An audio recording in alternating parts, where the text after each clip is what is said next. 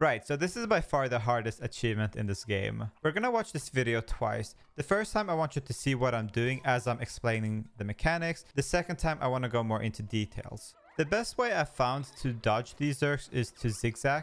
A lot of the times you can zigzag very close to them and the Zurks will still not latch onto you. The only exception that I've noticed is that if you're zigzagging right on top of them and then they can instantly latch onto you because there's no distance between the two of you. Remember that you are allowed to reload your latest checkpoint however many times you want to. Uh, the moment you get latched onto, just restart and retry it. I've done this achievement twice and I struggled just as much on both times because there are things that will happen that is outside of your control. All right, I think you're ready now. As you start, you want to move to the right side and then you want to move to the left side and then you want to make a slightly sharp turn to the right. As you approach the vending machine, you want to start moving to the middle. Here I was forced to zigzag and make a sharp right turn because of the Zurk positionings. Continue zigzagging. When you approach the stairway with the Zurks, continue zigzagging in the middle. Don't panic. For the second stairway, stick to the left, zigzag and make a slight sharp turn to the right.